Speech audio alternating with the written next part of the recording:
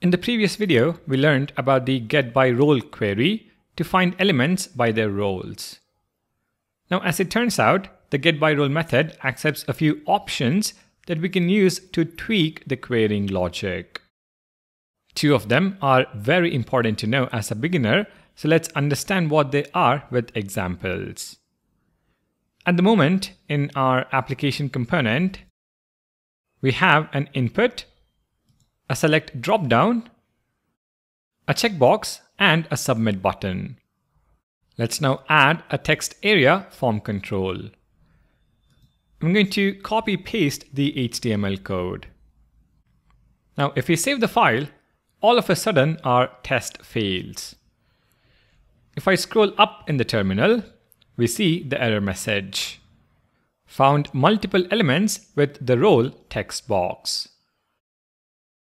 And this is because the default role for both input of type text and a text area is text box. So how do we resolve this issue where we have multiple elements that have the same role? After all, getByRole will throw an error if it finds multiple elements with the given role. Well, this is where our first option comes into picture. And that is the name option. Let's see how to add it to our test.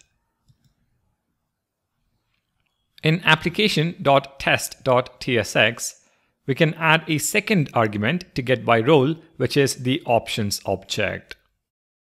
On line 7, where we getByRole a text box, add an empty object. In this object, we can specify a key value pair. The key is name, and the value is the accessible name for the element. The accessible name is for simple cases equal to 1. The label of a form element 2. The text content of a button or 3. The value of the ARIA label attribute. Back in our application component, we can see the input component has a label with the text name. And this will be our value to the name option in our test string name. Save the file and our test passes. We are able to verify that the input component has been rendered by our application component. Let's make sure it is the same with the newly added text area as well. const bio element. Since bio is what we are capturing, is going to be equal to screen.getByRole text box and we specify the name option to bio. Bio is the label for our text area. In the next line, expect bio element to be in the document. Save the file and our test continues to pass. Now the name option is case sensitive if you specify a string, so please make sure to pay attention to that. Lowercase bio will cause the test to fail.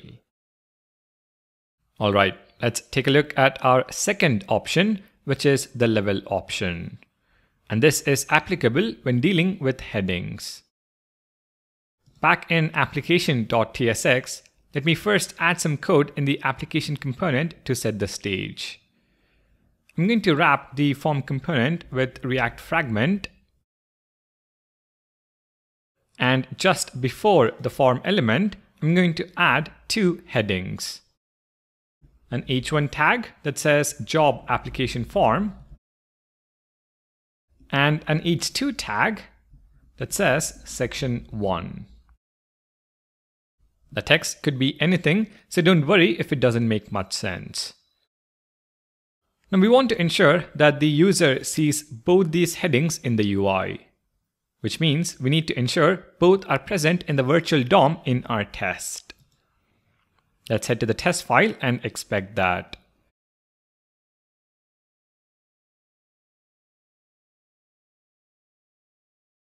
const page heading is equal to screen dot get by role heading. Expect page heading to be in the document. But as soon as we save the file, we see an error. Found multiple elements with the role heading. This is because all heading elements, H1 to H6, have the same role of heading. Luckily for us, we have just learned how to fix this error using the name option. So add name job application form. If we now save the file, our test passes. Let's ensure the section heading element also is present in the DOM. const section heading is equal to screen dot get by role heading and name is section 1 which is the text for our h2 tag. In the next line, expect section heading to be in the document. Save the file and the test passes.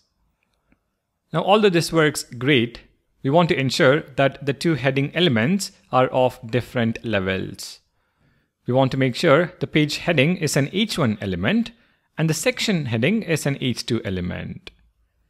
To address this concern, React Testing Library provides us with a level option that is specific to the heading role.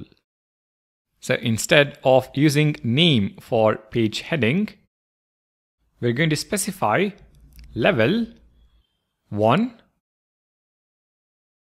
and for the section heading level 2.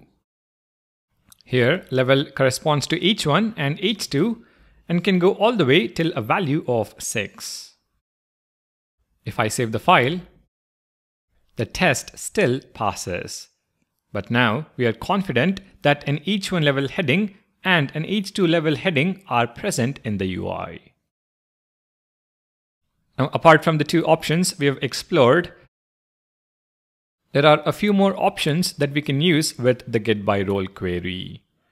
I've listed them down here, but please go through the documentation for more information about each of them. The docs should help you understand what is the purpose of each of these options. But this is about passing options to the getByRole method. The second argument is an object which can contain one or more options. They're helpful when you have multiple elements with the same role. You can pass options like name, which is usually the label or the inner text, and level for elements with role heading. You also have options like checked, selected, and so on. Now let me tell you, the get by role method should be your top preference for just about everything. If for some reason it doesn't work well with your component code, you can make use of one of the other queries.